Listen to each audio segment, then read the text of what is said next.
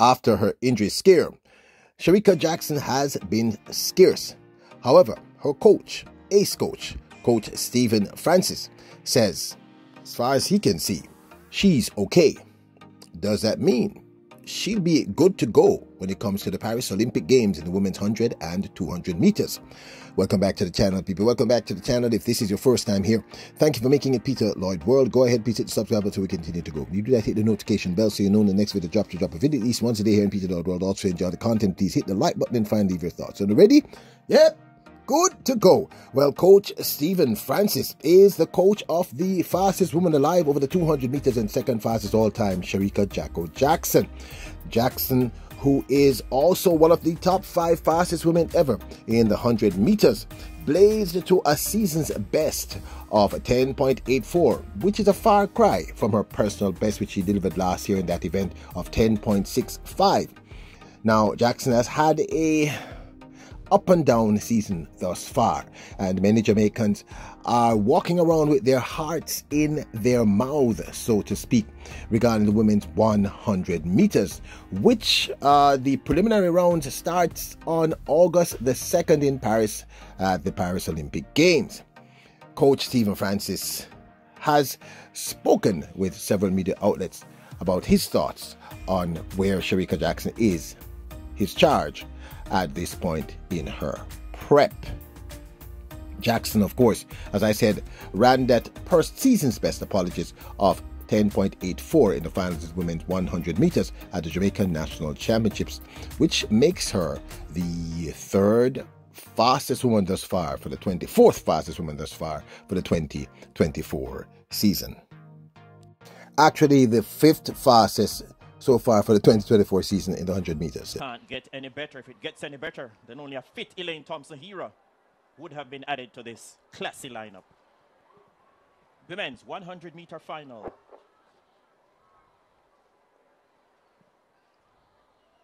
Great anticipation around the National Stadium. Set. And across the globe. Set. Bang, where they go. Kemba Nelson, Fraser-Pryce got an excellent start. Tia Clayton is running the race of her life. Shericka Jackson turns on the afterburners now. Spectacular performance. 10.79 the flash time. Shericka Jackson, big performance on the big occasion, sends an ominous message from Kingston to Paris. Awesome performance by Shericka Jackson, the World Championship silver medalist, reigning supreme. We wait for the official time. She kicked into top gear late and came home in 10.84 seconds. Tia Clayton ran the race of her life once again. 10 points. Jackson will line up on Friday against some tough opponents, including the fastest in the world thus far this year, Sha'Carri Richardson, the third fastest, Julien Alfred, and the fourth fastest, Melissa Jefferson. Then, of course, there's a five time world champion, uh, Shelly-Ann Fraser-Pryce, as well as Tia Clayton, and never forget Marie-Josée Ta Lou of Cote d'Ivoire, as well as our favorite, one of our favorites, Dina Asher-Smith. However, um, the great Coach Stephen Francis spoke bluntly, as he often does, regarding his charge, Shericka Jackson.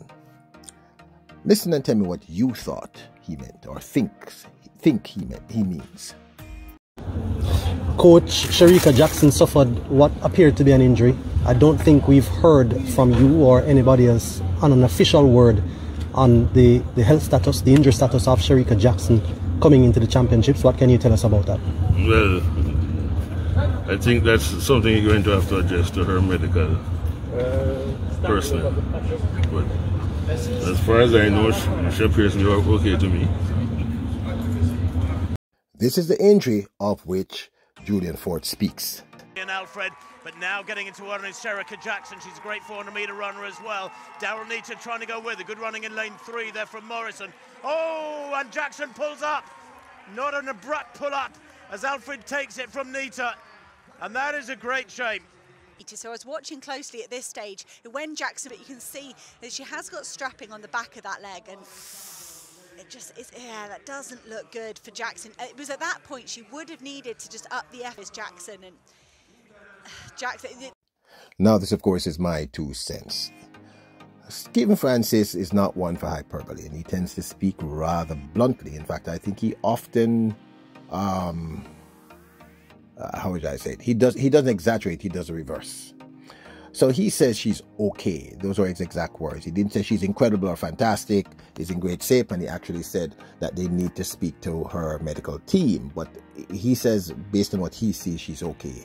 Uh, okay, Shericka Jackson is a very dangerous Shericka Jackson, in my personal opinion. Uh, okay, Shericka Jackson is a Shericka Jackson capable of running something akin to a 10.70, 10.75. No one outside of Sha'Carri Richardson has run that fast this year. So it means that uh, okay, Shericka Jackson, if she remains okay, is a massive contender for the gold medal. I've been saying this all along. Once she's healthy, she cannot be counted out in women's 100 meters.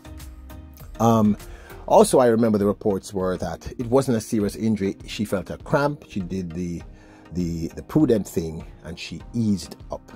The her her uh, physiotherapist came out and said it was just a cramp, people, nothing serious of course, we were all holding our breaths. Now, what I find odd is that no one even said anything until, of course, Julian Ford had the presence of mind to ask Stephen Francis, big up yourself, Julian Ford, um, this question.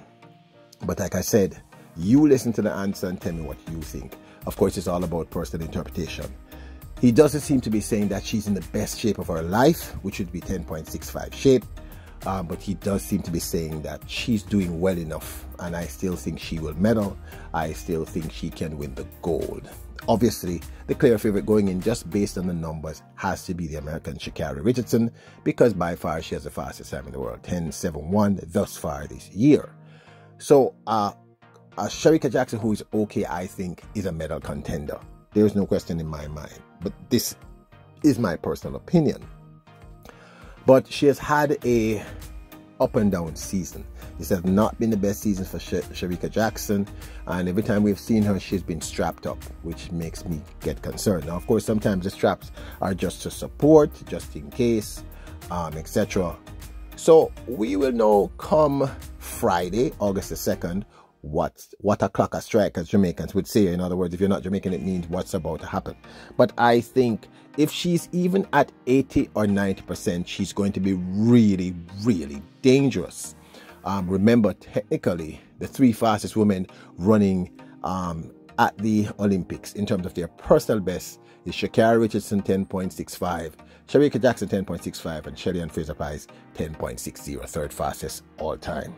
So this is going to be a heck of a run. I still think Julien Alfred is very dangerous, very underscored. And I have this, this is now got. There's a feeling I have looking at the numbers that Tia Clayton people gonna be, gonna be a problem. I really think this. She's definitely going to get to the finals, and I think she may surprise many people. So there you have it. Uh, Franno says that Shericka is she's good to go. Yep, good to go. And I'm just happy to hear that. Uh, just hope she remains injury free. Let's see what happens this upcoming weekend. Who do you have as your pick? I know the Americans are going to say Sha'Carri Richardson and the Jamaicans are going to say Shericka Jackson. Uh, but everybody else, who do you think is going to win? Now, don't forget to hit the subscribe button, notification bell, like button. Remember, your royals, kings and queens. Bless up.